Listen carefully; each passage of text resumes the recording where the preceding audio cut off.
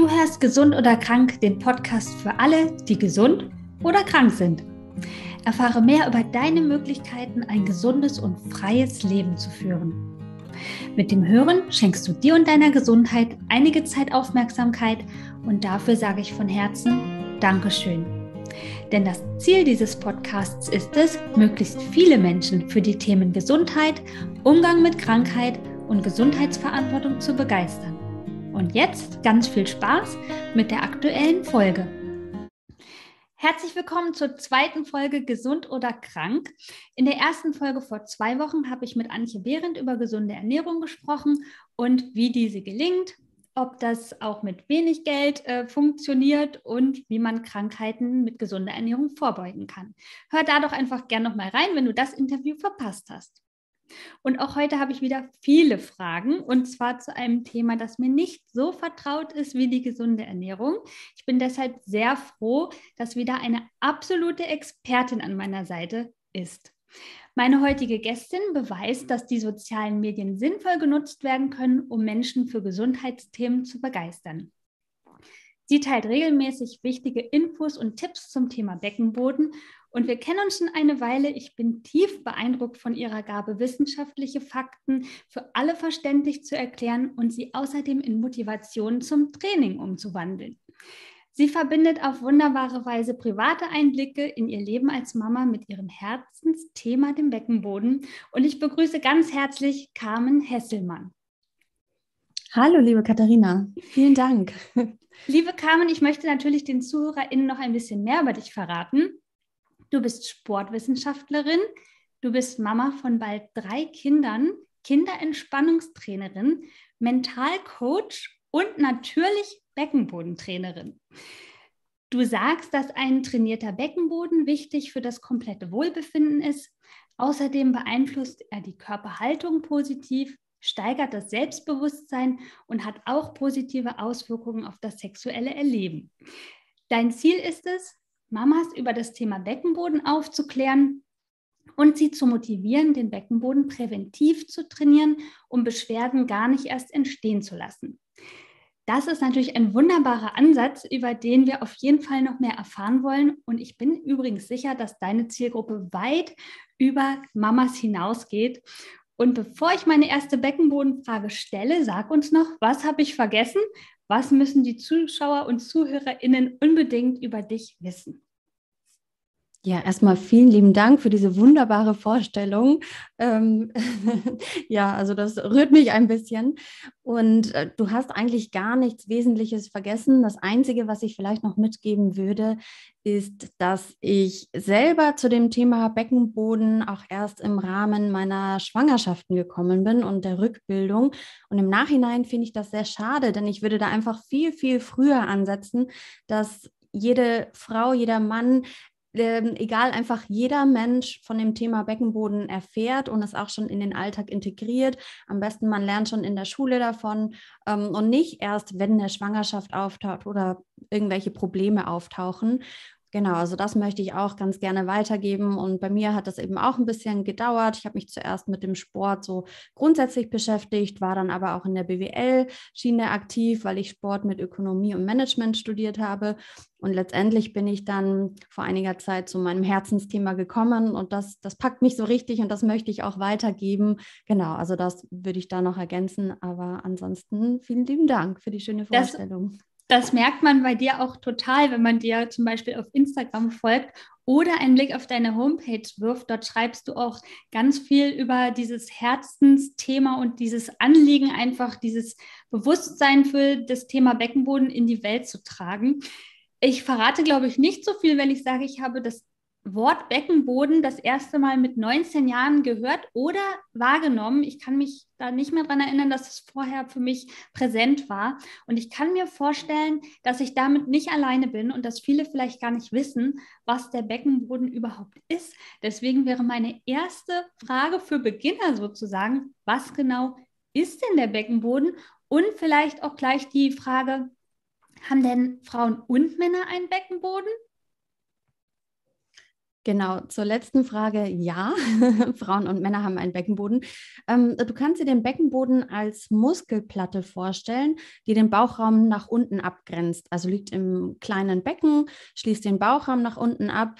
Ähm, manchmal hilft es so ein bisschen, wenn man sich ein Trampolin vorstellt oder vielleicht eine Hängematte, die so im Becken liegt und die durch die Punkte ähm, Schambein, Steißbein hinten und die Sitzbeinhöcker verbunden sind. Also innerhalb dieses Bereichs liegt der Beckenboden und es gibt aber Körperöffnungen, die durch den Beckenboden hindurchgehen. Und da ist der Unterschied zwischen Mann und Frau. Bei der Frau hat der Beckenboden drei Körperöffnungen für die Harnröhre, Vagina, den Enddarm. Und beim Mann fällt natürlich die Vagina weg. Da sind es nur zwei Körperöffnungen. Und deshalb gibt es eben einfach den anatomischen Unterschied und auch Unterschiede im Alltag. Der Beckenboden des Mannes ist zum Beispiel auch deutlich dicker, also den kann man sich ähm, deutlich mehr als eine Handbreit vorstellen. Mhm. Bei der Frau ist der Beckenboden etwas dünner und deshalb haben statistisch gesehen auch mehr Frauen Probleme mit dem Beckenboden. Und deshalb ist das auch so ein Thema, auch durch die Geburt, durch die Schwangerschaft sind da eben nochmal ganz andere Herausforderungen für den Beckenboden als beim Mann. Deshalb geht das Thema beim Mann oft ein bisschen unter, ist aber genauso relevant auf jeden Fall. Da schließt sich direkt meine ähm, nächste Frage eigentlich an. Welche Funktion hat denn der Beckenboden jeweils? Also wir haben jetzt gerade schon gehört, er schließt im Grunde den Bauchraum nach unten ab. Das heißt, er hat ja auch irgendwas mit den Organen wahrscheinlich zu tun. Und ähm, gibt es noch, dann noch Unterschiede Frau und Mann, denn man verbindet häufig ja ähm, das Bewusstsein für Beckenboden mit ähm, Schwangerschaft, nach der Schwangerschaft und im Grunde im Alter dann ähm, ja häufig mit äh, Kontinenz und Inkontinenz. Welche Funktionen hat der Beckenboden bei der Frau und beim Mann? Ja, genau. Ähm, da hast du schon was ganz Wichtiges angesprochen. Die Hauptfunktion des Beckenbodens ist das Stützen und das Tragen von den Bauchorganen. Bei der Frau ist das ähm, im Wesentlichen die Blase, Gebärmutter, der Darm. Bei den Männern fällt dann die Gebärmutter weg. Aber das ist eine wesentliche Funktion und vor allem in der Schwangerschaft kommt das eben noch mehr zum Tragen, weil die Gebärmutter ja deutlich an Gewicht zunimmt. Und dann muss der Beckenboden einfach auch noch mehr arbeiten. Das ist so die Hauptfunktion. Was oft so das Eingängigste ist, ist ähm, die Funktion des Schließens, dass eben die Körperöffnungen verschlossen werden, dass man äh, kontinent ist. Das kennen die meisten oder verbinden die meisten mit dem Beckenboden und merken dann eben auch, wenn etwas nicht mit dem Beckenboden in Ordnung ist, dann kann es zur Inkontinenz kommen. Also Schließfunktion ist eine wichtige Funktion, aber auch das Hinauslassen. Der Beckenboden muss sich genauso gut entspannen können beim Wasserlassen, beim Stuhlgang und ähm, hat auch noch die Funktion beim ähm, bei der sexuellen Stimulation, das Hineinlassen und Umschließen. Und was auch gar nicht so bekannt ist, ist, dass der Beckenboden die untere Wirbelsäule stützt. Also er hat eine wesentliche Funktion auch bei der Körperhaltung, da er eng vernetzt ist mit der Bauch- und Rückenmuskulatur und der Beinmuskulatur. Also ohne den Beckenboden hätten wir gar keine aufrechte Körperhaltung. Das würde gar nicht funktionieren. Mhm. Und deshalb ist es da auch ganz wichtig und wird auch oft so als Zentrum im Körper gesehen, allein durch seine Lage in der Mitte des Körpers ist er so die Verbindung von oben nach unten und ähm, ja, spielt dann auch spirituell so ein bisschen in die Richtung ähm, Energiezentrum, ähm, Körperkern. Genau. Also hat äh, ich habe ganz auf viele deiner Homepage einen Optionen. ganz interessanten Satz dazu gefunden, den möchte ich kurz vorlesen und dann kannst du den nochmal erklären. Das ähm, trifft im Grunde das, was du gerade schon gesagt hast, aber ich finde den ganz faszinierend. Du schreibst, durch eine stärkere Mitte kann sich der ganze Körper leichter in einer Einheit bewegen, da der Beckenboden die Verbindung der funktionellen Muskelketten die Verbindung der funktionellen Muskelketten darstellt.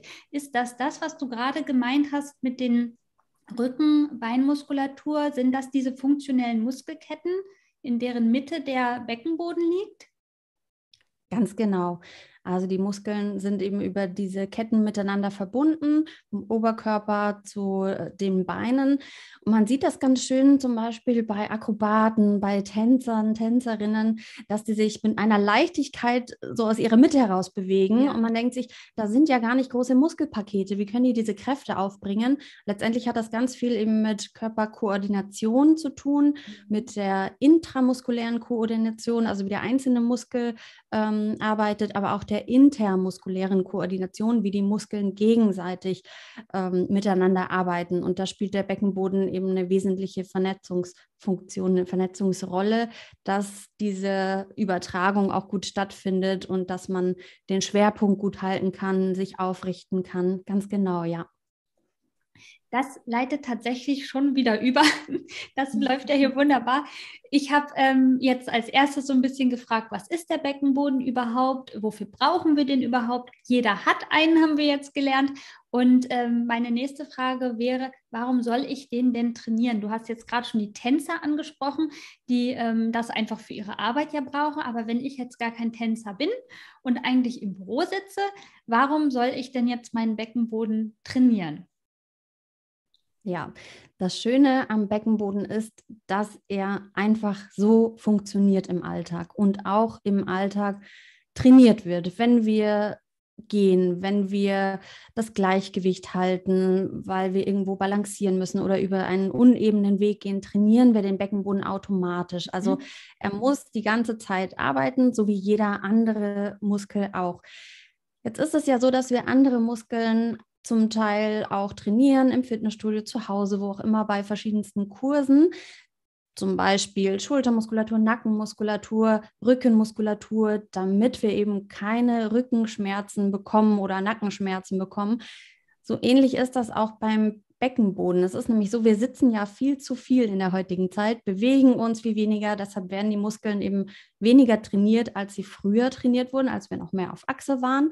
Und das müssen wir dann nachholen. Da mhm. müssen wir auf jeden Fall was tun, damit es nicht zu Problemen kommt. Denn beim Beckenboden ist es oft so, erst wenn wir merken, er funktioniert nicht mehr so, wie er eigentlich sollte, dann merken wir, wir haben überhaupt einen Beckenboden und müssen da was tun. Ja.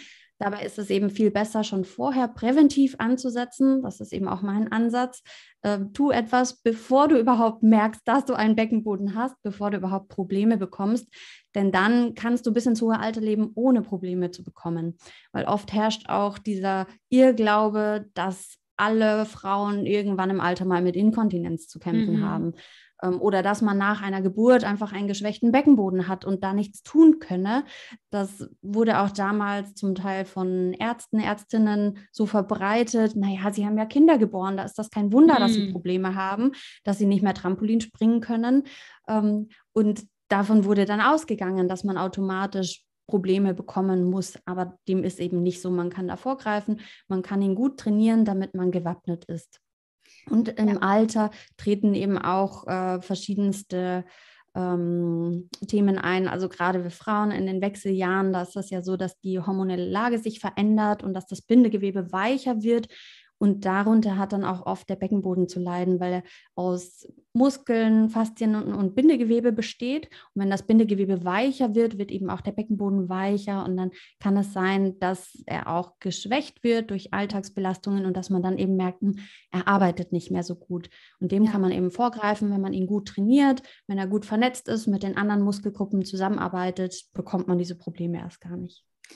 Da habe ich ähm, kürzlich auch etwas zu gelesen wahrscheinlich bei dir, gehe ich von aus, ähm, dass oftmals auch Rückenschmerzen ähm, herrühren von einem untrainierten Beckenboden. Das hat mich überrascht, weil ich natürlich in dem Thema noch gar nicht so drin bin wie du.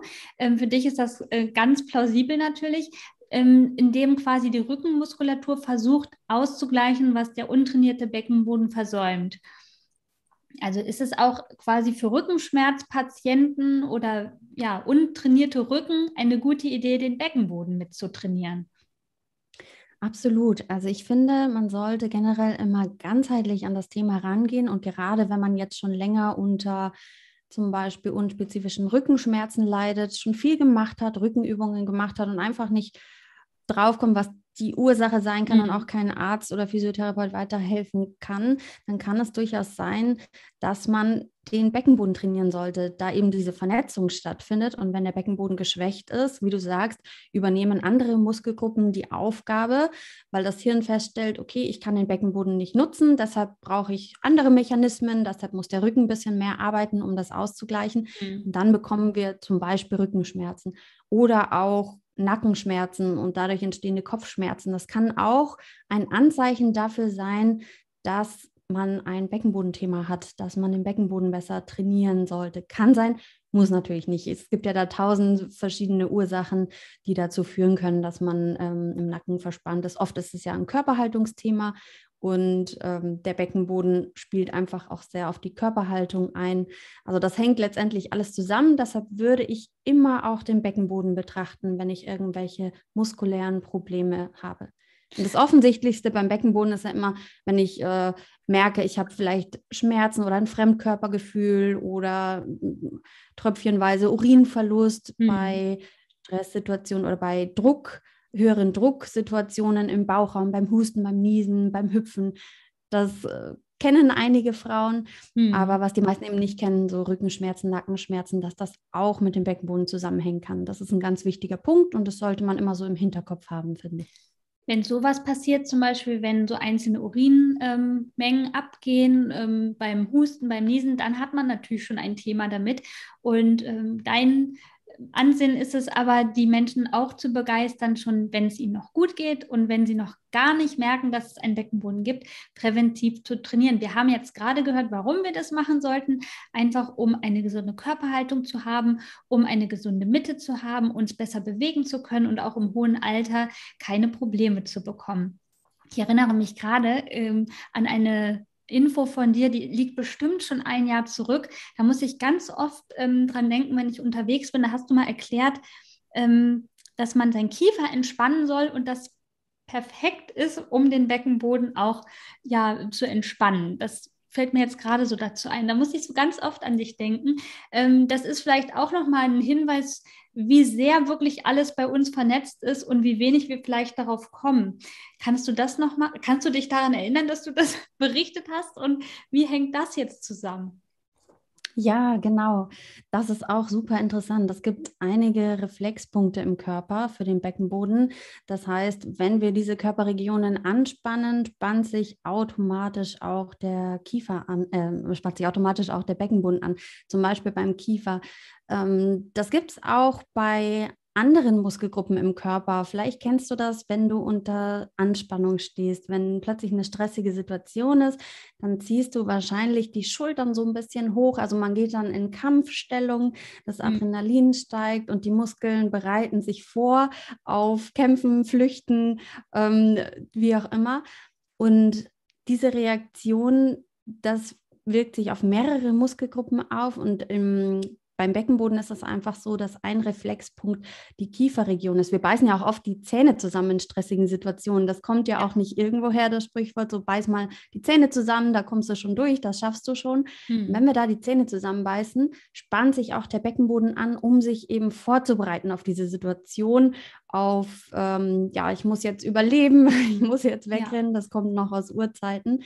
Und da können wir ganz gut gegengreifen, wenn wir eben in diesen Situationen darauf achten, weil wir heutzutage eigentlich nicht mehr flüchten müssen und auch nicht mehr kämpfen müssen, dass wir uns da ein bisschen, nicht, ja. genau, ein bisschen entspannen, den Mundraum weiten, den Kiefer locker lassen.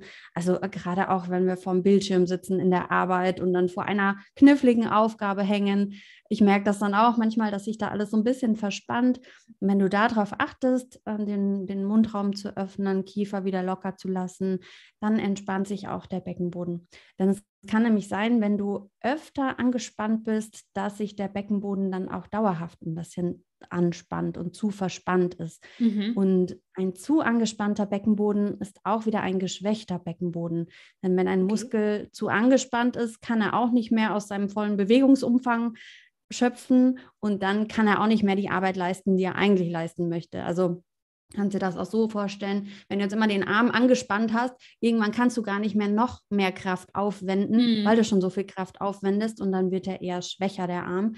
als wenn du den vollen Bewegungsumfang hast und daraus schöpfen kannst. Also das ist auch ganz wichtig, die Beckenbodenentspannung und nicht nur die Anspannung.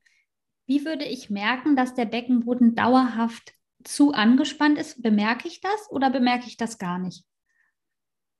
Das sind so die gleichen Anzeichen für eine Beckenbodenschwäche, als wenn der Muskel wirklich zu zu schwach, zu schlaff ist. Also letztendlich wäre das eben auch so, dass du zum Beispiel bei erhöhtem Druck im Bauchraum, beim Husten, Niesen, dass du dann eventuell schon tröpfchenweise Urinverlust mhm. hast oder auch wieder Rückenschmerzen, irgendwelche anderen undefinierbaren Nackenschmerzen, Kopfschmerzen, ähm, dass du dich einfach nicht so ganz wohl fühlst. Vielleicht hast du auch mh, hm, schon ein leichtes Fremdkörpergefühl, ähm, einfach ein Ziehen in der Gegend oder ähm, es kann auch sein, dass du Schmerzen hast beim Geschlechtsverkehr. Also das ist auch nochmal ein ganz eindeutiges Zeichen, denn wenn alles verspannt ist am Beckenboden, mhm. ist eben die, die Vagina natürlich auch enger ja. und dann ist es beim Geschlechtsverkehr auch schwieriger und schmerzhafter. Es gibt da auch eine Krankheit Vaginismus. Mhm. Das ist auch ein dauerhaft zu angespannter Beckenboden. Das kann dann körperliche und seelische Ursachen haben. Also das ist nochmal ein ganz komplexes Thema,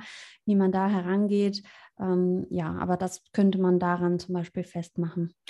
Wahrscheinlich oder anscheinend ähm, eher so das einzige, die einzige Methode zu unterscheiden, ob der Beckenboden zu untrainiert oder zu angespannt ist. Das leitet weiter zu meiner Frage, mh, hm, Beckenboden, wie trainiere ich den denn jetzt richtig? Ja, viele denken bei Beckenbodentraining daran, im Sitzen den Beckenboden anzuspannen und möglichst viel Kraft aufzuwenden und einfach mhm. isoliert zu trainieren. Mhm. Den Tipp bekommt man auch oft mit. Versuche so in jeder Alltagssituation an jeder Ampel deinen Beckenboden anzuspannen. Das ist einerseits ganz gut für die Wahrnehmung, wenn man den Beckenboden isoliert anspannen kann, also die drei Schichten, die er hat, wenn man da wirklich das schafft, isoliert die zu aktivieren, aber das ist auch nur ein ganz kleiner Teil von dem großen Ganzen, denn letztendlich muss der Beckenboden ja in dem großen Geflecht, im großen Körpergeflecht arbeiten, eben in diesen funktionellen Muskelketten. Und das kann er nur, wenn ich das eben auch so trainiere, also in komplexen Bewegungsabläufen. Das heißt, ich sehe ein Beckenbodentraining immer ganzheitlich und mhm. das besteht dann aus einem Warm-up, also erstmal die Durchblutung fördern, damit man auch die Wahrnehmung besser äh, schulen kann, dann eben Wahrnehmungsübungen für den Beckenboden, mhm. damit man lernt, ihn isoliert zu aktivieren, denn das ist so das Schwierigste für die meisten am Anfang, dass man überhaupt weiß, was spanne ich denn wie an, wie komme ich ja. denn da überhaupt hin. Ähm, dann aber auch Mobilisation. Der Beckenboden funktioniert nur, wenn die Gelenke frei beweglich sind, wenn da alles gut funktioniert. Ähm, und dann die Kräftigung, das ist eben ein, ein wesentlicher Part, aber auch die Entspannung und Dehnung am Ende. Also auch nur Muskeln, die den vollen Bewegungsumfang haben, wie ich vorhin schon sagte, die können dann auch richtig gut arbeiten. Dazu müssen sie auch gedehnt werden. Und die Beckenbodenentspannung ist dann eben auch wichtig. Wenn ich immer nur kräftige und gar nicht entspanne, kann es eben sein, dass der Beckenboden irgendwann auch zu angespannt ist. Würde man so ein Training ähm, quasi ohne Hilfsmittel durchführen oder gibt es Hilfsmittel, die sinnvoll sind, bei diesem Training einzusetzen? Generell kannst du deinen Beckenboden komplett ohne Hilfsmittel trainieren. Also alle Übungen, ähm, die ich jetzt genannt habe, zu Wahrnehmung, Warm-up, Kräftigung, Dehnung, Entspannung, das kannst du alles mit deinem eigenen Körpergewicht machen, denn da gibt es ja auch verschiedene Positionen in Rückenlage, Seitenlage, im Stehen, wo du einiges machen kannst. Hm. Es gibt natürlich auch Hilfsmittel, die du nutzen kannst, zum Beispiel mit Gymnastikball kannst du nochmal den Druck erhöhen, wenn du den zum Beispiel zwischen die Hände nimmst und dann mit den Händen Druck ausübst, hm. ähm, wird deine tiefe Bauchmuskulatur auch nochmal anders aktiviert und das aktiviert dann zum Teil auch noch automatisch den Beckenboden. Also das kann man auch gut nutzen, da gibt es sehr viele schöne Übungen. Ähm, was viele wahrscheinlich auch schon mal gehört haben, sind Vaginalkonen. Das sind äh, Geräte, die man zum Teil über das Smartphone steuert. Da werden mhm. Vaginalkonen eingeführt. In die Vagina und da kann man dann feststellen, anhand eines Bildes, eines Spiels auf dem Smartphone, wie stark man den Beckenboden jetzt gerade anspannt. Das, das habe ich noch nie gehört. Das klingt ja wahnsinnig ja, okay. faszinierend und sehr modern. Dazu, äh, ja, erzähl dazu doch noch mal ganz kurz mehr für alle technikaffinen Zuhörer. Wahrscheinlich jetzt in dem Moment nur innen, Zuhörerinnen. ja, genau. Ähm, genau, also letztendlich funktioniert es so, man führt sich so Vaginalkonen ein und kann dann über die Beckenbodenanspannung ähm, ein, ja, irgendeinen Punkt zum Beispiel steuern und sieht es auf dem Smartphone, wie deutlich man jetzt gerade anspannt oder entspannt. Das ist ja verrückt. Genau, es gibt ganz unterschiedliche Geräte. Ich finde da mal wichtig, dass da auch die Entspannung berücksichtigt wird. Also dass nicht nur geguckt wird, wie fest man jetzt anspannen kann, sondern dass auch festgestellt werden kann, steuere ich den Beckenboden richtig an mhm. oder mhm. ähm, kneife ich jetzt nur den Hintern zusammen. Das ist nämlich dann nicht der Beckenboden, sondern die Gesäßmuskulatur. Mhm. Also da sollte das Gerät unterscheiden können. Das gibt aber auch ein paar Geräte, die das sehr gut können. Ich finde die Geräte generell gut, um die Wahrnehmung zu schulen. Das hilft dir wirklich dabei, um festzustellen, kann ich denn wirklich diese Schicht ansprechen oder spanne ich meine Gesäßmuskulatur an, meine Oberschenkelinnenseite, die Adduktoren, das sind alles Hilfsmuskeln. Spanne ich nur die an oder schaffe ich es wirklich, den Beckenboden anzuspannen? Mhm. Da kannst du das schon mal sehr gut sehen. Als alleiniges Training finde ich es nicht ausreichend, mhm. denn da fehlt mir eben der Alltagsbezug, dass man die anderen, die, die Muskelketten auch noch mit anspricht, also Bauch, Rücken, Beinmuskulatur, dass man einfach ganzheitlich trainiert, fehlt da.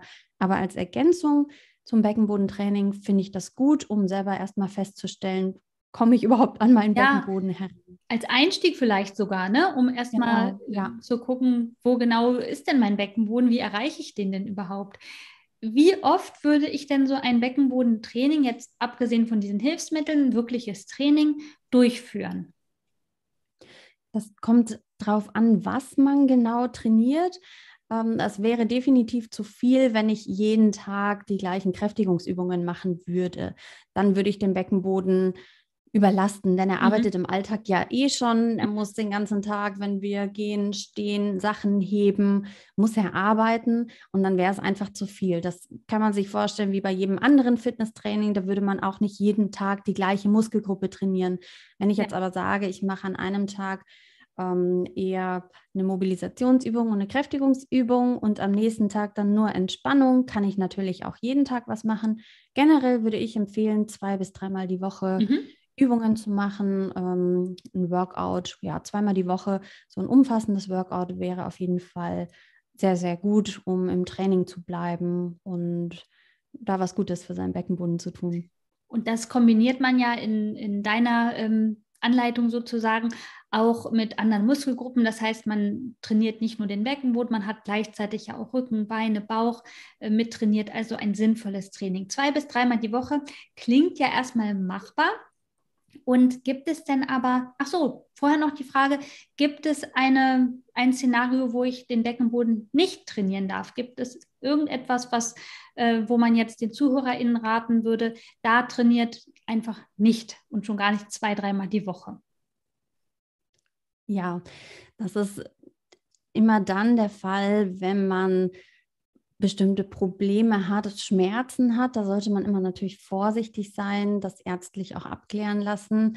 Was so ein typischer Zeitpunkt ist, ist nach der Geburt. Da würde ich jetzt nicht sofort wieder mhm. einsteigen und sagen, mach ein umfassendes Workout zwei bis dreimal die Woche. Da sollte man wirklich sanft wieder anfangen.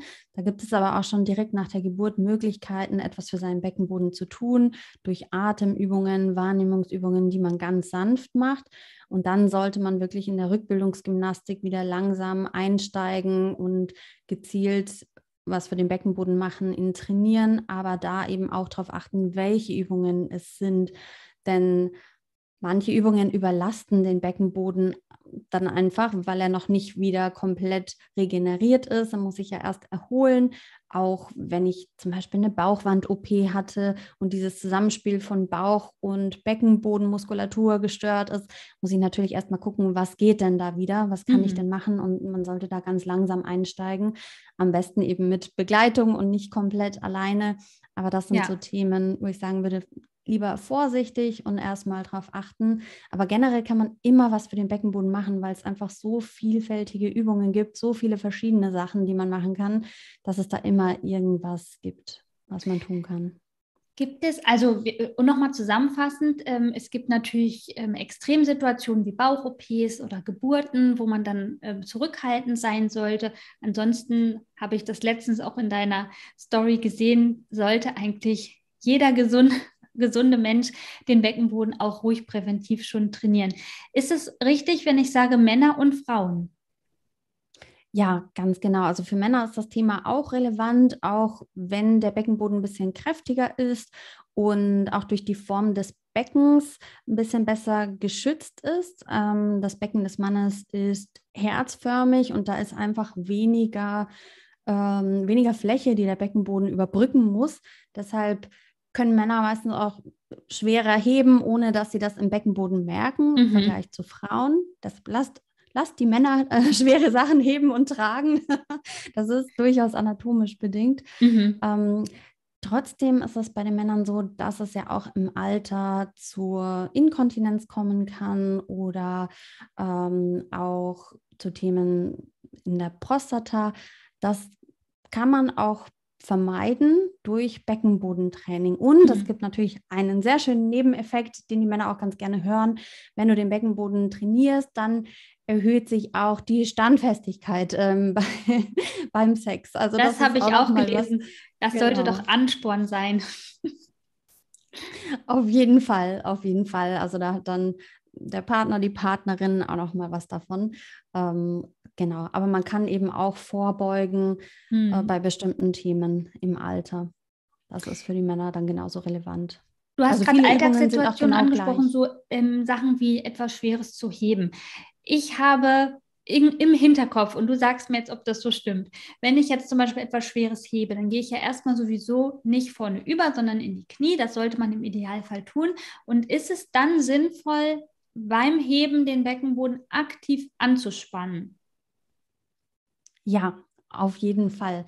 Genau, wie du schon richtig gesagt hast, am besten man geht in die Knie und lässt die Wirbelsäule aufrecht. Also da sollte man keine Krümmung haben nach vorne, denn immer wenn die Wirbelsäule gekrümmt ist, kann der Beckenboden nicht mehr so gut arbeiten. Mhm. Der arbeitet zusammen mit dem Zwerchfell, da muss genug Platz dazwischen sein. Das ist auch bei der Atmung, ähm, spielt es auch eine wichtige Rolle. Da können wir vielleicht im Nachgang nochmal drauf eingehen. Ähm, das solltest du immer mit einer geraden Wirbelsäule dann nach unten gehen und wenn du dann in der tiefen Position bist, in den Knien bist und den Gegenstand, bevor du den Gegenstand hebst, solltest du am besten deinen Beckenboden schon mal aktivieren. Dann ist er schon mal vorbereitet mhm. auf die anstehende Last. Und mit aktiviertem Beckenboden streckst du dich dann wieder aus den Knien, aus ähm, dem Becken heraus nach oben und holst eben die Energie aus den Beinen und nicht aus dem Oberkörper. Mhm. Das wäre ideal, wenn man das so machen würde. Genau, damit kann man den Beckenboden sehr gut unterstützen, dass er da so überrumpelt wird von der plötzlichen Tragelast.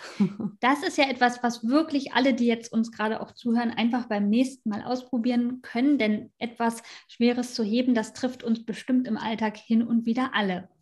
Du hast die Atmung schon angesprochen. Meine Frage, vielleicht kann man es auch gar nicht kurz und knapp ähm, auf den Punkt bringen, aber ich frage trotzdem, welche Rolle spielt denn die Atmung beim Beckenbodentraining?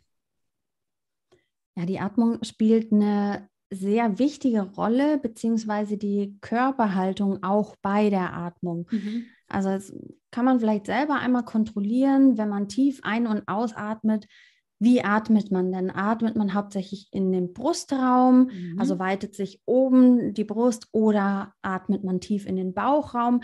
Die meisten haben es verlernt, tief in den Bauch zu atmen. Also das tritt ja ganz oft im Alltag auch auf, wenn man gestresst ist, dass mhm. man dann so mhm. eine oberflächliche Atmung hat und gar nicht mehr wirklich tief in den Bauch atmet. Für den Beckenboden ist aber so eine tiefe Bauchatmung ganz wichtig. Mhm. Also nicht nur in den Bauch, sondern 360 Grad Atmung nenne ich das immer, mhm. ähm, dass du eben komplett in den Bauchraum, seitlichen Bauch, Rücken einatmest und sich da alles weitet und du einfach den Platz schaffst. Mhm. Denn dann entspannt sich auch der Beckenboden. Der Beckenboden arbeitet mit dem Zwerchfell zusammen und bewegt sich immer in die gleiche Richtung. Also du kannst dir das vorstellen, beim Einatmen, dann muss das Zwerchfell ja nach unten weichen, damit einfach mehr Platz ist in der Lunge für die einströmende mhm. Luft. Und der Beckenboden, der weicht dann auch automatisch nach unten aus, denn die Bauchorgane müssen ja auch ein bisschen Platz machen für die Lunge. Also alles schiebt sich nach unten. Mhm. Wenn du ausatmest, dann geht das Ganze wieder zurück. Das Zwerchfell zieht sich zusammen, geht nach oben. Der Beckenboden spannt sich automatisch ein bisschen an bei der Ausatmung und mhm. geht auch wieder nach oben. Und die Bauchorgane werden reflektorisch dann durch einen Sog, durch eine Sogwirkung nach oben gezogen. Und das heißt, durch die Atmung werden diese Bauchorgane immer ein Stückchen hoch und runter bewegt. Mhm. Und das ist ganz wichtig zur Förderung der Durchblutung, zur Entschlackung. Also man sagt so ungefähr 300 Meter legen die Bauchorgane am Tag zurück im Bauchraum. Wow. Und diese Bewegung ist aber sehr, sehr wichtig. Und wenn du dir jetzt vorstellst, du sitzt an deinem Schreibtisch, arbeitest und sitzt gekrümmt da, dann funktioniert diese Bewegung im Bauchraum einfach nicht. Du kannst ja. schon mal gar nicht in den Bauch atmen. Ähm, du atmest wahrscheinlich flacher in die Brust mhm. und diese Bewegung findet nicht statt. Das heißt, der Beckenboden entspannt sich kaum und spannt sich kaum an dabei. Die Bauchorgane sind so ein bisschen gedrückt nach unten und ja, es tut sich einfach nichts. Dabei ist das so wichtig für den Körper, dass das eben immer in Bewegung ist und dass der Beckenboden dann automatisch durch die Atmung aktiviert wird und angespannt wird. Das war so die, die Kurzfassung. Ich hoffe, ja. es ist 300 Meter, habe ich das richtig im, im Kopf? 300 ja. Meter, das, das ja. kommt mir extrem viel vor. Darüber habe ich noch nie nachgedacht. Und auch diese, diese 360-Grad-Atmung, die können wirklich auch alle zu Hause direkt mal ausprobieren. In den tiefen Bauch und Rücken und in die Seiten zu atmen. Vielleicht hat der eine oder andere das sogar noch nie ausprobiert. Und jetzt haben wir auch gelernt, warum es sehr wichtig ist, wirklich dem Bauchraum auch mal Platz zu bieten, nicht nur zu sitzen, aufzustehen und die 360-Grad-Atmung zu probieren. Das ist ja extrem interessant. Was du, was du gerade ähm, gesagt hast, ist, dass beim äh, Einatmen logischerweise alles, dadurch, dass die Lunge sich weitet, ein bisschen nach unten drückt, Zwerchfell, Beckenboden. Und beim, ähm, Ein-, beim Ausatmen das Ganze dann wieder zurückgeht, dadurch ja auch diese Bewegung der Organe entsteht. Dann sollte es aber doch äh, wenn ich jetzt trainiere, logischerweise wahrscheinlich sinnvoll sein, wenn ich einatme, dem entgegenzuwirken, indem ich anspanne. Und genau andersrum. Andersrum. Genau, andersrum. Jetzt, jetzt spitzen genau. wir die Ohren. Ja, und das ist aber sehr gut, dass du das ansprichst, weil intuitiv machen das die meisten genau falsch herum, mhm. weil man denkt, beim Einatmen, also oft macht man diese Einatmung und spannt alles an, weil man so nach oben geht und äh, die Luft in, die, äh, in den Brustraum einzieht. Mhm. Das machen wirklich viele falsch. Man kann sich das nochmal so überlegen, wie du eben gesagt hast, bei der Einatmung senken sich die Bauchorgane ab, alles geht so ein bisschen nach unten. Und wenn du dir den Beckenboden wie so eine Hängematte vorstellst, musst das auch locker lassen. Das heißt, mhm. beim Einatmen entspannt sich der Beckenboden und genau das nutzen wir auch bei den Übungen. Also wir fördern dann diese normale Funktion, die stattfindet beim Atmen, dass wir den Beckenboden dann auch entspannen. Und beim Ausatmen hebt sich der Beckenboden leicht durch die Sogwirkung. Und das nutzen wir eben auch im Training, wenn wir ausatmen und der Beckenboden sich eh ein bisschen hebt, dass wir ihn dann gleich gezielt anspannen. Also man kann sich das immer so merken mit den gleichen Anfangsbuchstaben. Einatmen, entspannen Ausatmen, anspannen. Die E, Super e Eselsbrücke. Regel. Ganz genau. toll. Und das mit ja. dem Trampolin ist auch eine sehr ähm, ja, bildliche, bildliche Eselsbrücke, dass wenn man sich vorstellt, dass man diese, ja, dieses sanfte Abfangen im Grunde irgendwie ermöglichen will, dass es dann eine Entspannung braucht. Ja, interessant. Einatmen und ausatmen, die Anfangsbuchstaben zu nutzen, ist natürlich wirklich auch für jeden greifbar. Das nehmen wir auf jeden Fall mit und werden es ab jetzt alle einbauen in unsere Übungen und in unseren Alltag. Genau, man muss noch ein bisschen aufpassen, weil es bei manchen Sportarten so ein bisschen anders gelebt wird. Ähm, zum Teil ist dann im Yoga die Ansage manchmal anders herum, mhm. dass man ne, bei manchen Übungen das anders nutzt. Da muss man so ein bisschen, bisschen schauen für sich, wie man das umsetzt. Im Beckenbodentraining würde man immer sagen, beim Einatmen entspannen, beim Ausatmen anspannen. Mhm. Eine Ausnahme gibt es noch, ähm, und zwar bei Entspannungsübungen kurz vor der Geburt. Ja gerade so bei mir in dem Stadium aktuell. Da würde man nämlich auch beim Ausatmen üben zu entspannen, weil ja der Beckenboden auch nachher bei der Geburt, bei der Ein- und Ausatmung sich entspannen muss. Also Mhm. würde, würden wir alle Zeichen auf Entspannung gesetzt werden und das eben beim Einatmen und Ausatmen. Das ist mir noch wichtig, dass man das so im Hinterkopf behält, ähm, dass es eben auch andere Möglichkeiten gibt oder je nach Umständen auch anders trainiert werden kann. Und Sehr ähm, noch wichtig, ein auf jeden Punkt, Fall wertvoller Hinweis. Danke, ja. Ähm, noch ein Punkt, der mir auch eingefallen ist zur Atmung, ähm, warum wir die Bauchatmung auch mal zwischendurch machen sollten. Also generell ist die Atmung ja so ein wichtiges Tool, auch um Stress abzubauen, auch mal Mhm. zwischendurch. Wir vergessen das ja oft wirklich mal tief durchzuatmen. Und durch die Atmung, durch dieses Tool, was wir selber in der Hand haben und immer mit, mit dabei haben, können wir auch so schön den Parasympathikus stimulieren, also das Zentrum im Gehirn, das für Entspannung zuständig ist. Und das bringt auch ganz viel, wenn man zwischendurch einfach nur drei Minuten tiefe Atemzüge nimmt. Ja. Dann hast du was Gutes für deinen Beckenboden getan, aber auch zum Stressabbau zwischendurch. Es bringt wirklich viel und dauert nicht lange. Das ist auch immer so ein Alltagstipp, den ich mitgebe. Ja, Wenn man mich fragt, was kann ich denn tun? Also das ist wirklich, wirklich effektiv und dauert gar nicht lange. sehr gut. Und es gibt nicht umsonst ja den Spruch, atme mal tief durch. Das hat, hat ähm, auf jeden Fall den Hintergrund, ähm, auch Stress abzubauen. Und das funktioniert ja wirklich auf biochemischer Ebene, dass dann wirklich auch die Stresshormone abgebaut werden und gleichzeitig der positive Effekt, den Beckenboden dann zu, ja, zu trainieren. Es gibt, wir haben nicht mehr ganz so viel Zeit, aber es gibt noch so zwei, drei Mythen und Fehler, die ich ansprechen möchte, die bestimmt ähm, ja, weit verbreitet sind und ich deswegen ganz kurz darauf zu sprechen kommen möchte. Es gibt ja, so wie ich zum Beispiel, Menschen, die gerne, bevor sie verreisen oder ins Auto steigen, lieber nochmal auf Toilette gehen. Äh, wie ist das mit diesem vorsorglich nochmal auf Toilette gehen? Ist das für den Beckenboden hopp oder top? Flop. Ja, ich kann das absolut nachvollziehen, auch mit zwei kleinen Kindern. Das kennen wahrscheinlich die meisten, dass man gerade das Haus verlassen hat und fünf Minuten später heißt es, ich muss aufs Klo.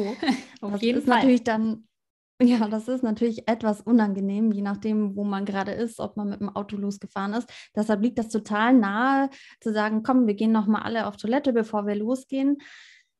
Es kann nur problematisch sein, wenn man eigentlich wirklich noch nicht muss. Also am Mhm. besten wäre, man hört komplett auf seinen Körper, auf die Blase, denn die, die, das Gehirn und die Blase arbeiten zusammen und der Mechanismus wird durch das vegetative Nervensystem gesteuert. Also es läuft ganz viel unwillkürlich, unbewusst und wir bekommen ja dann auch Bescheid, so, ah ja, meine Blase ist jetzt voll, ich müsste jetzt mal auf Toilette und davor meldet sich die Blase gar nicht.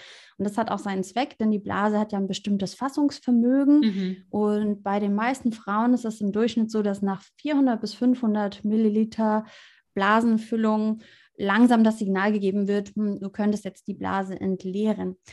Wenn es jetzt schon vorher passiert und sagen wir mal, die Blase ist nur 100 Milliliter oder 200 Milliliter gefüllt und wir entleeren die Blase, dann kann es sein, dass in Zukunft wir einfach öfter äh, das Bedürfnis haben, die Blase zu entleeren, auch schon bei geringen Mengen, weil sich Mhm. das Gehirn das auch merkt, dass die Blase früher entleert wurde und dann das immer wieder so eintreten kann. Das heißt, es kann dazu führen, dass wir immer öfter auf Toilette gehen müssen, ohne dass das Fassungsvermögen schon ausgeschöpft wäre. Mhm. Also das Fassungsvermögen der Blase einer Frau so, liegt so bei einem Maximum von 1,5 Litern. Also es geht noch deutlich darüber hinaus, aber meistens merken wir so nach 500 Millilitern, so jetzt ist es langsam Zeit. Und das Mhm. ist ja auch gut, weil manchmal geht es ja einfach nicht, dass man schon ähm, direkt auf die Toilette gehen kann. Dann ist es ja gut, wenn man das noch überbrücken kann.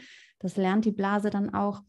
Aber es wäre gut, da wirklich auf den Körper zu hören und ihm die Zeit zu lassen, bis sich die Blase meldet und sagt, hallo, ich bin da, äh, ich bin gefüllt, ich möchte entleert werden.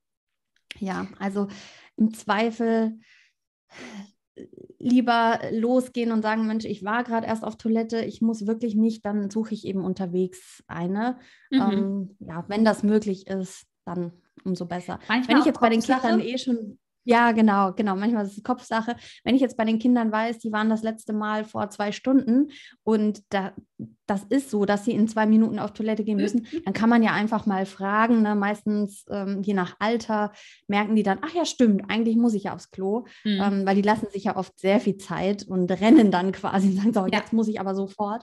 Ähm, klar, da kann man mal nachfragen, aber ich würde dann die Kinder auch nicht unbedingt dazu drängen, sondern würde so ein gesundes Toilettenverhalten ähm, entstehen lassen, ohne eben ein anderes Toilettenverhalten anzutrainieren, ja. was womöglich dann schlechte Auswirkungen haben kann.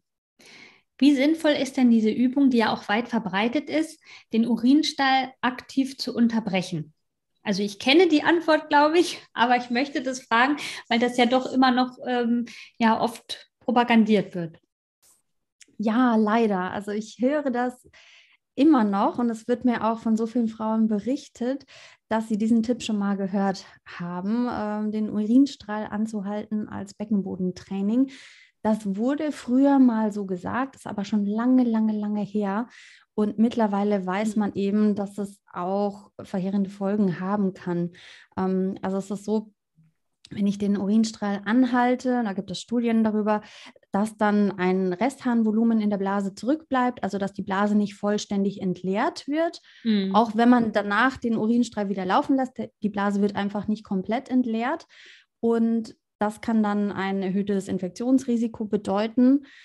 Ähm, ja, was ja per se schon mal schlecht ist. Und es kann eben auch sein, dass diese Verbindung, die ich schon erwähnt hatte, vom Gehirn zur Blase, dass das dann auch langfristig gestört wird. Wenn ich jetzt immer wieder so trainieren würde und das mhm. ständig machen würde, na, dann kann es wirklich sein, dass das dann eben nicht mehr richtig funktioniert, diese Übermittlung der Informationen von der Blase zum Gehirn.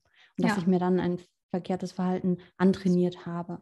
Das finde ich auch einen ganz wichtigen Punkt, dass man daran auch nochmal denkt, dass man sich damit eher ähm, Schaden zufügt auf Dauer, als sich etwas Gutes tut. Ein, ähm, ja. ein Mythos, den ich bei dir auch noch habe äh, gesehen, den du aufgeklärt hast, oder vielmehr einen Fehler.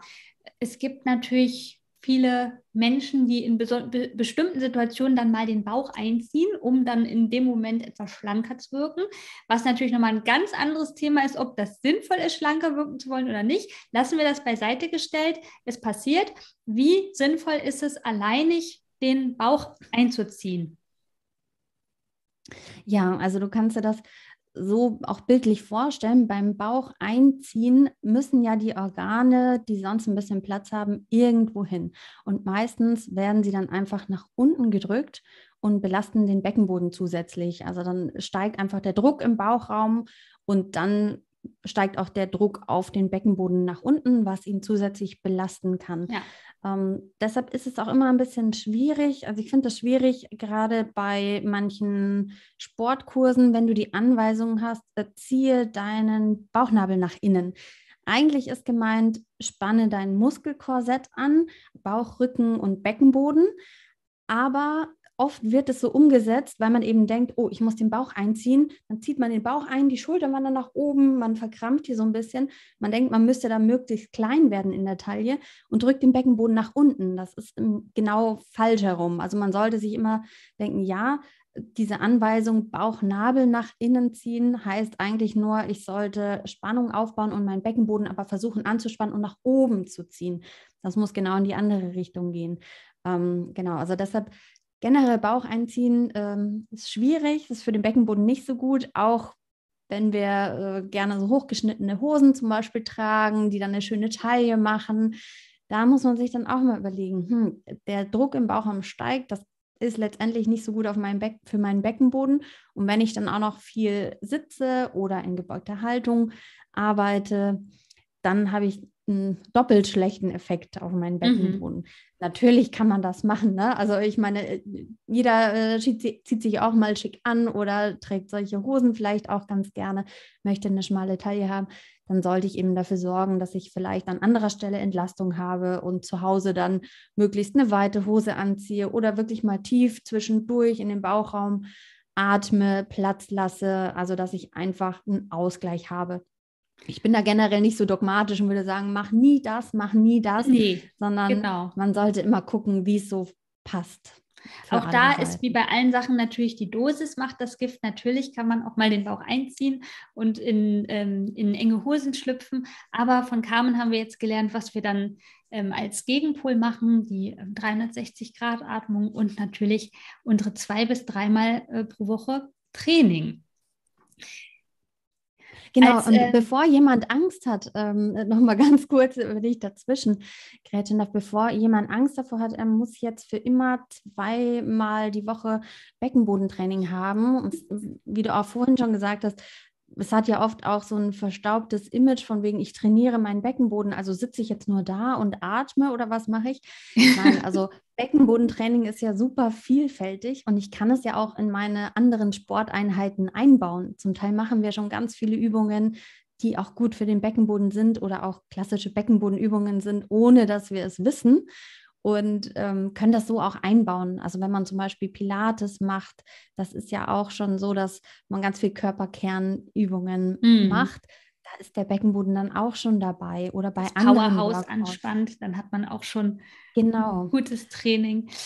Ja, ganz genau. Also von daher ist das schon ähm, ist das schon bei so vielen Sportarten enthalten. Ich finde es immer wichtig, das Wissen auch aufzubauen, wie trainiere ich den Beckenboden, wie spanne ich ihn an und wie kann ich ihn in den Sportarten, die ich gerne mache, die ich auch äh, mein Leben lang noch machen möchte, wie kann ich den Beckenboden da optimal integrieren? Und das ist mir immer ganz wichtig, dass ich da mhm. Lösungen an die Hand gebe und eben sage, so kannst du das in dein Training einbauen. Du musst jetzt nicht irgendwelche Übungen, die dir vielleicht gar nicht so viel Spaß machen, äh, dein Leben lang immer machen, sondern das Wissen hilft schon ganz viel und eben so ähm, gezielte Übungen auch an die Hand zu haben, die man zusätzlich machen kann.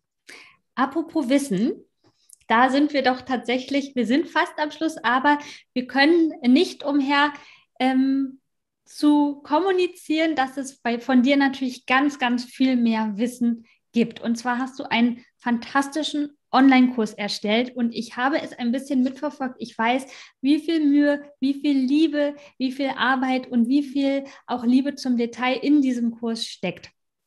Es ist ein Online-Kurs, das heißt, man kann ihn wirklich zu Hause ähm, sofort starten. Man wird begleitet und ich weiß auch, dass viele gesetzliche Krankenkassen äh, ihn erstatten. Zum, ähm, ja, teilweise gibt es äh, Kostenerstattungen in Teilen vom Kurs, manche erstatten ihn sogar ganz. Jetzt meine Frage, was beinhaltet denn dieser Kurs so grob genau und ähm, welche Zielgruppe darf sich jetzt angesprochen fühlen? Ja, genau. Also der, der Online-Beckenbodenkurs, das ist so wirklich mein, mein Herzensprojekt gewesen, das hast du ja auch mitbekommen, da ich einen Kurs erstellen wollte, der moderne Übungen beinhaltet, die Spaß machen. Das Training soll abwechslungsreich sein. Da soll es ganz viel Wissen bekommen. Deshalb ist er auch so aufgebaut, dass er mit einer Wissenseinheit startet. Also ich erzähle erstmal, wo ist der Beckenboden, aus was besteht er. Ähm, alles auch schön bildlich dargestellt, dass man sich das besser vorstellen kann.